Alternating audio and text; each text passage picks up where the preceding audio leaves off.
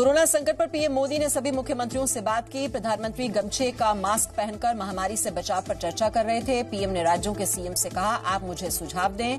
आपके लिए 24/7 उपलब्ध हूँ। मीटिंग में केजरीवाल, अमरिंदर, ममता, उद्धव ने दिया लॉकडाउन बढ़ाने का सुझाव। उत्तर प्रदेश के मुख्यमंत्री योगी आदित्यनाथ ने पीएम से बातचीत में यूपी में लॉकडाउन बढ़ाने की मांग की। साथ ही उन्होंने कोरोना से लड़ाई में सरकार की ओर से जारी आरोग्य सेतु मोबाइल एप्लीकेशन की तारीफ़ की और इससे कारगर बताया। देश भर में आज लॉकडाउन का अठारहवें दिन लगातार बढ़ रहे हैं कोरोना केस। कुल संक्रमितों की संख्या बढ़कर सात हज़ार चार सौ सैंतालीस हो गई है, जबकि दो सौ उनतालीस लोगों की मौत हो गई है।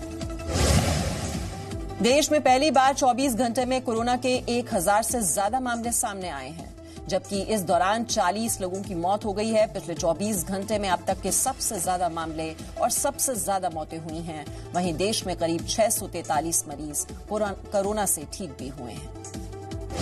दिल्ली में नहीं थम रहा कोरोना संक्रमण। दिल्ली में कोरोना संक्रमितों की संख्या बढ़कर 903 हुई। दिल्ली में अब तक कोरोना से तेरह लोगों की मौत, जबकि 25 मरीज़ ठीक हो चुके हैं। कुल 30 इलाके सील किए गए दिल्ली में नहीं थम रहा जमातियों से कोरोना का संक्रमण। चांदनी महल इलाके की तेरह मस्जिदों से निकाले गए 102 में से बावन जमाती निकले कोरोना पॉजिटिव। डीएम ने पूरे इलाके को सील करने का आदेश दिया।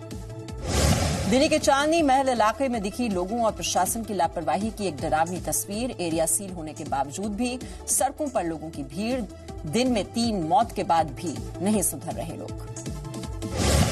पटना में दीघा के सब्ज़ी बाज़ार में पहुँचे लोगों ने लॉकडाउन की परवाह किए बगैर खरीदारी की। काफ़ी संख्या में पहुँचे ज़्यादातर लोग, न तो सोशल डिस्टेंसिंग में दिखे और न ही मास्क लगाकर पहुँचे थे।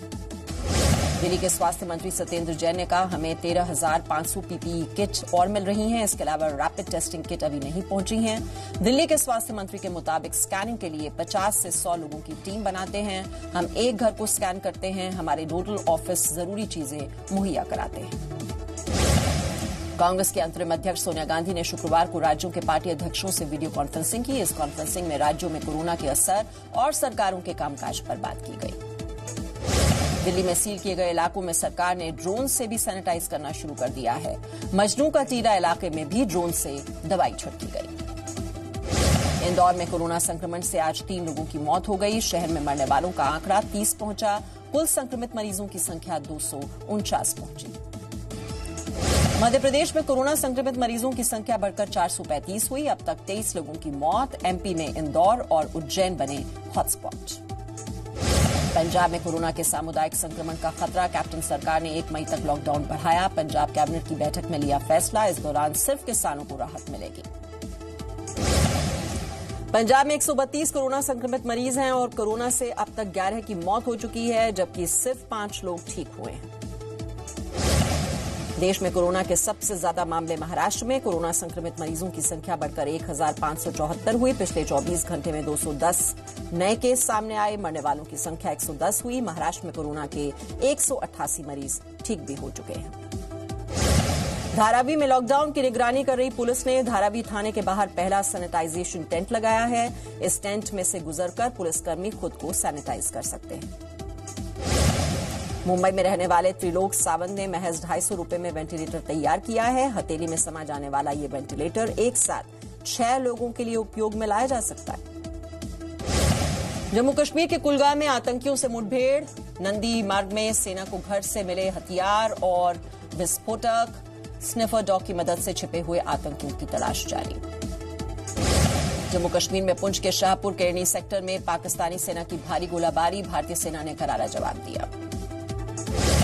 हिमाचल में पावटा साहिब के खुम्बी वाला धर्मकोट गाँव में लगभग 20 मीटर गहरी सुरंग मिली है। सुरंग बनाने वाले लोग कौन हैं और किस उद्देश्य से खोदी गई, इसका भी कोई पता नहीं चला है, लेकिन सुरंग का खुलासा होने के बाद आसपास के इलाकों में दहशत है।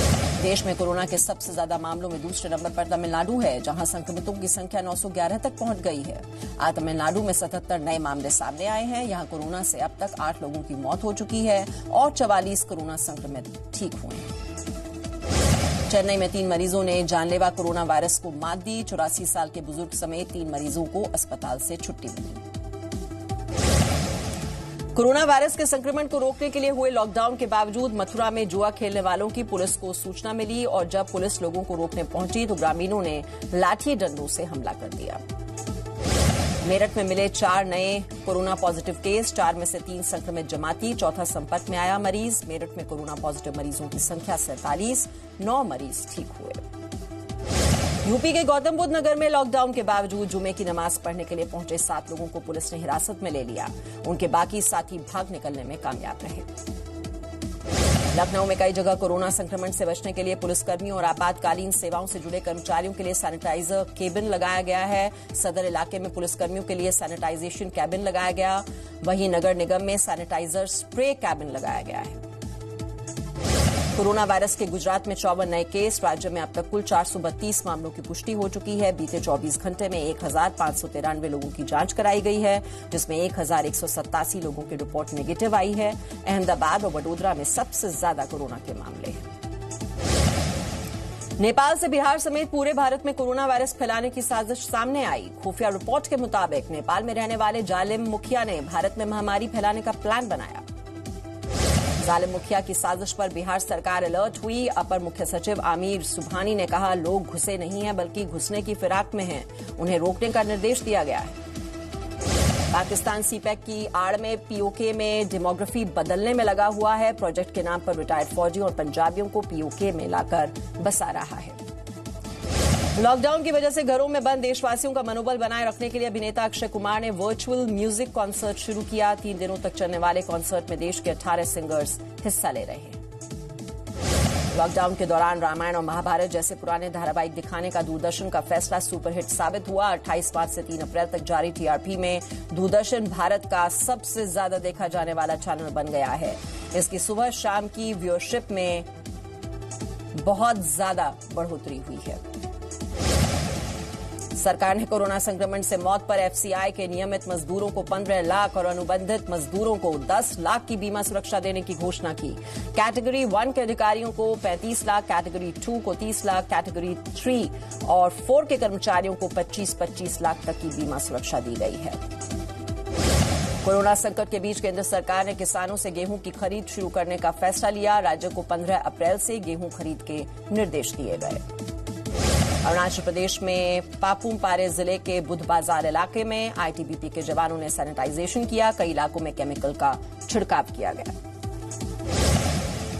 कोरोना से निपटने में एयरफोर्स ने पूरी ताकत झोंकी। एयरफोर्स के भारी जहाजों के ज़रिए विभिन्न इलाकों में लगातार की जा रही है दवाओं की आपूर्ति।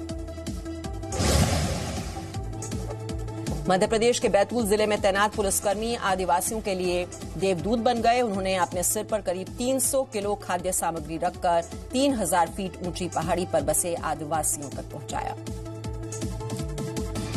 मध्य प्रदेश के सीहोर ज़िले में लोगों को लॉकडाउन का पालन करवाने के लिए अफसर लगातार कोशिश कर रहे हैं। लोगों को प्रेरित करने के लिए एसपी एसएस चौहान ने चेक पोस्ट पर खड़े होकर ज़िंदगी मौत न बन जाए, गाना गाया।